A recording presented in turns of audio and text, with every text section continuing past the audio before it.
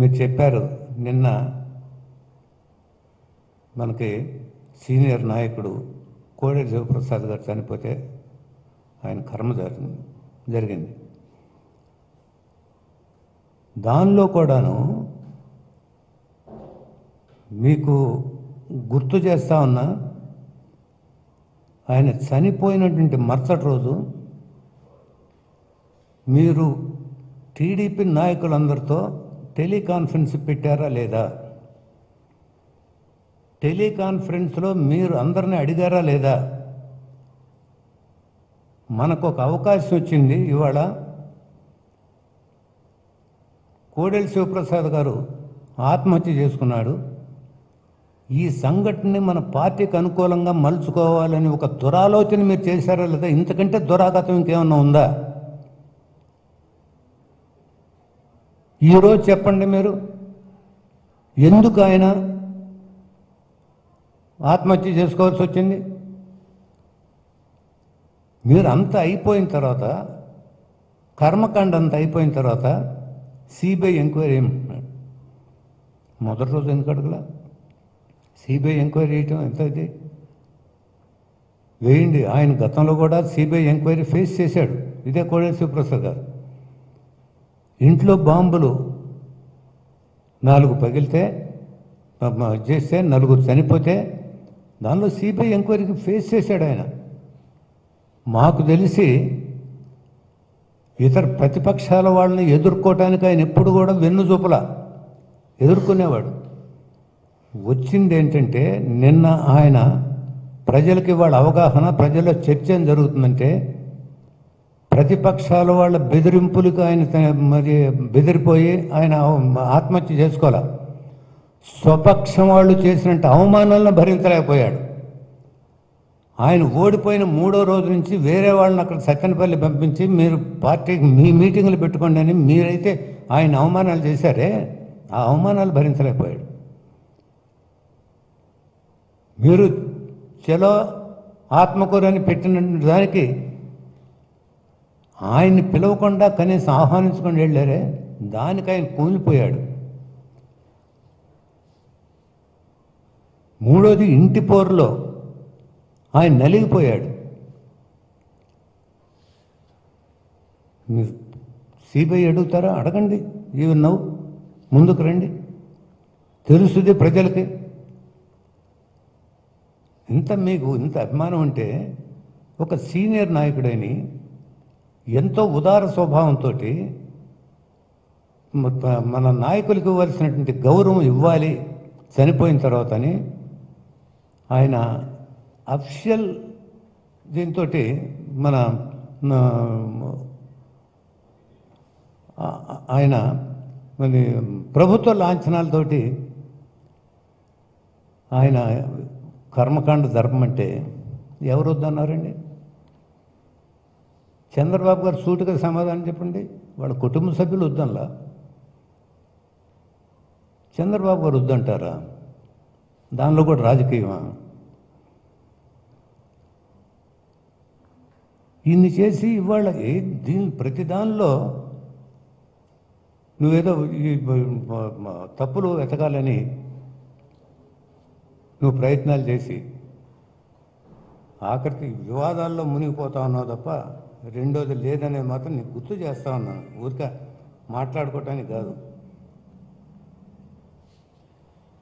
నీకు ఇవాళ ఎన్నిటికీ పనికొస్తుందని చెప్పి ఈ గ్రామీణ స్థాయిలో ఉన్నటువంటి ఈ వార్డు వాలంటీర్లు వాళ్ళు ప్రతి ఇంట్లో జరిగేటటువంటిది వ్యవసాయం ఉద్యానవనాలు పశుసంవర్ధక రెవెన్యూ వైద్యం ఆరోగ్యం సాంఘిక సంక్షేమం మహిళా శిశు సంక్షేమం పంచాయతీరాజ్ వ్యవస్థలు వీటన్నిటిలో ఏది కావాలన్నా కూడా వాళ్ళు మీకు సప్లై చేయడానికి గ్రామాల్లో రెడీగా ఉన్నారు.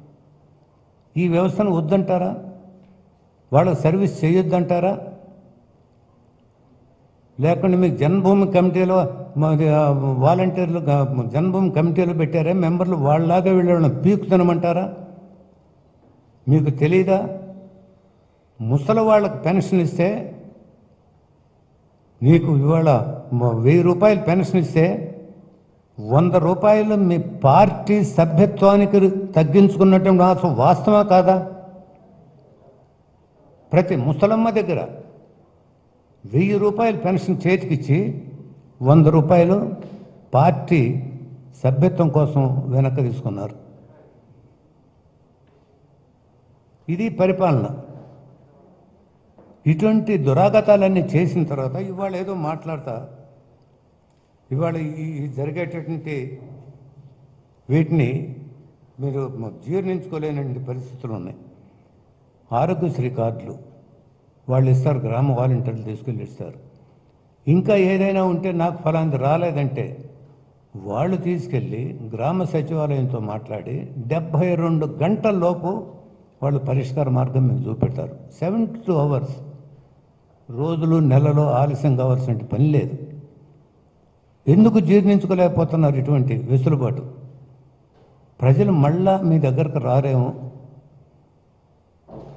మీరు నాకు ఆఖరికి ఒకటి అడుగుతా ఉన్నా మీరు చేయాలి మా పరిపాలన బాగా చేశాం. ఇవాళ అసలు ఉన్న వచ్చిన నాలుగు నెలల్లోనే వీళ్ళ పరిపాలన ఇట్లా అయిపోయింది అని చాలా విచారం వ్యక్తం చేస్తూ ఉన్నట్టు మాట్లాడారు. మీరు పరిపాలన అంతా చాలా బ్రహ్మాండంగా చేసుంటే అంత బ్రహ్మాండంగా చేసింటే ఇంత బ్రహ్మాండంగా మిమ్మల్ని ఎందుకు చీకొట్టారు జనం?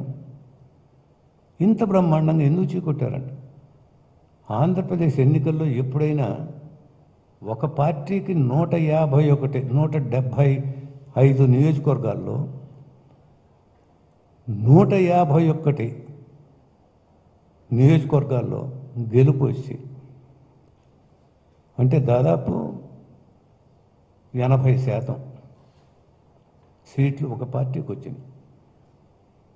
నీ పార్టీకి వచ్చింది ఇరవై శాతమే.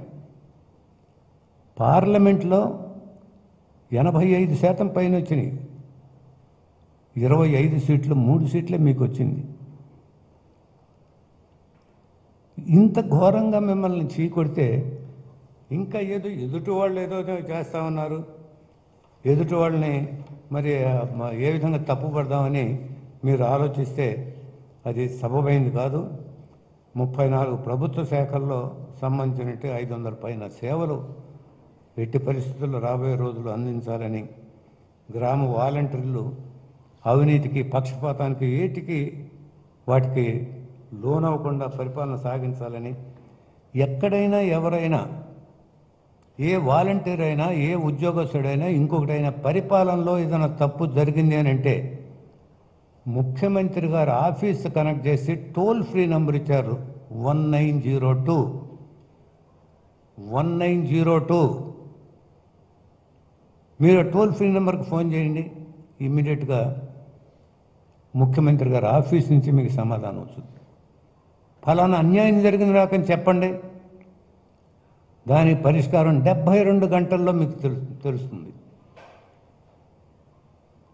నువ్వు ఏనాడని ఇంత భరోసా ఇచ్చావా ప్రజలకి?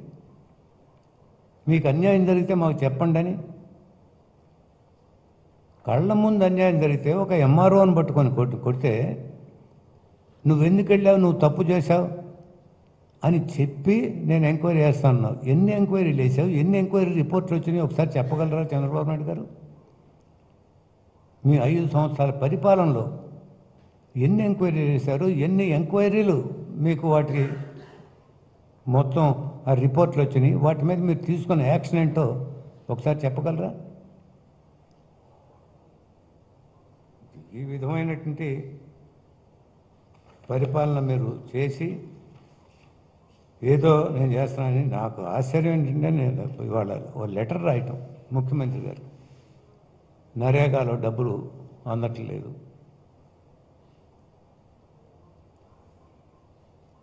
చూడండి ఎందుకు పాపం తొందరపడతారు మరి? ఇవాళ రేపు ఎలక్షన్ వీలేవు. లోకల్ బాడీ ఎలక్షన్లు ఉన్నాయి. మీరు చూస్తారు కదా మీ పరిస్థితి అంటే ఇంకా ఎంతవరకు దిగజారిపోబోతుందో మీరు చూడబోతా ఉన్నారు. ఇది ఆయన ముఖ్యమంత్రి గారు ఆఖరిగా చెప్పారు. నాకు గ్రామ సచివాలయాల సిబ్బంది గ్రామ వాలంటీర్లు నాకు రెండు కళ్ళు లాంటి వాళ్ళు.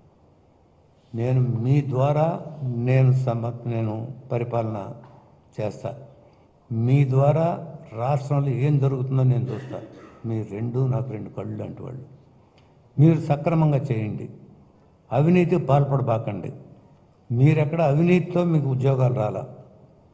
పరిపాలన అనేది అంత స్ట్రీమ్లైన్ చేసుకున్నాం.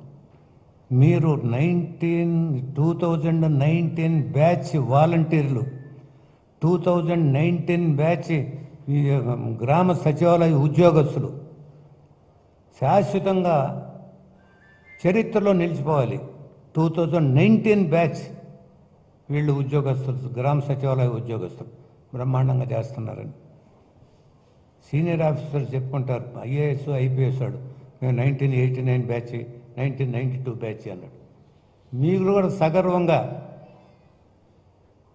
మేము టూ థౌజండ్ నైన్టీన్ బ్యాచ్ వాలంటీర్లు అండి టూ థౌజండ్ నైన్టీన్ బ్యాచ్ ఉద్యోగస్తులం అండి అని చెప్పుకున్న విధంగా మీ మరి నిర్వహణ మీ సేవలు ప్రజలకు అందించాలని కోరుతూ ఆఖరిగా చంద్రబాబు గారు ఎందుకు ఇంత తొందరపడి ఆయన ఇది చేసుకుంటున్నాడు మాకైతే అర్థం కావట్లా? ఎక్కడ చేశారు? నువ్వు ఉన్న ఉద్యోగాలు తీసేశాడని లెటర్ రాస్తారు ఎక్కడ తీసేశారండి? ఉన్న ఉద్యోగాలు? ఆ నాలుగు నెలలు ఐదు నెలలు ఆఖరికి వీళ్ళందరూ జీతాలు ఇవ్వకుండా మలమల మార్చి నువ్వు చేస్తావండి.